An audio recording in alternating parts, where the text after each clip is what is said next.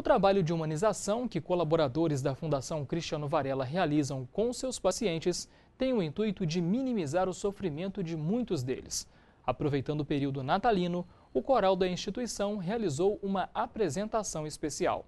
Com gorrinhos de Papai Noel, um coral afinado alegrou os pacientes da Fundação Cristiano Varela, Hospital do Câncer de Muriaé. Com canções natalinas, os pacientes receberam uma atenção especial. As pessoas que vêm aqui em busca de cura.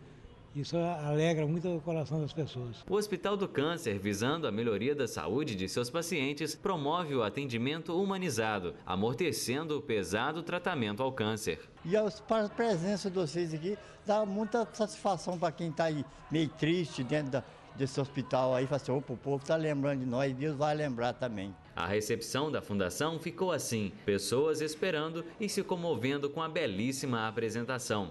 É muito emocionante, né? Principalmente quando tem criança, aí que a gente se acaba mesmo em choro e é muito bom. Até mesmo os funcionários deram uma paradinha para apreciar o coral de Natal, uma forma de estar mais próximo da real intenção do Natal, celebrar o nascimento do menino Jesus. Né, é bom buscar a presença de Deus, principalmente nesse ambiente, né? Deus está sempre aqui abençoando, ajudando as pessoas. É muito bom. Um pouco mais de força para os pacientes e familiares, né? Principalmente, né? Familiares, pacientes que estão aqui,